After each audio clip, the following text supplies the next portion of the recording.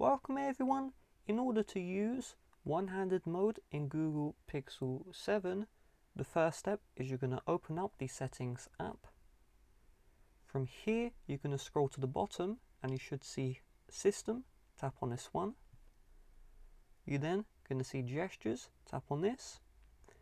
And real quick, tap on system navigation and if you set this to three button navigation, you must set this back to gesture navigation. Then we're going to go back, we're going to scroll to the bottom and you see here one-handed mode. By default this is off. So we're going to tap on one-handed mode, tap on use one-handed mode and now the one-handed mode is on. So in order for this to work, you just do a slide down near this white or black bar, so slide down. You can see the one-handed mode shows up. So this just allows you to use the device and easily reach the higher areas of the screen. So let's go like this.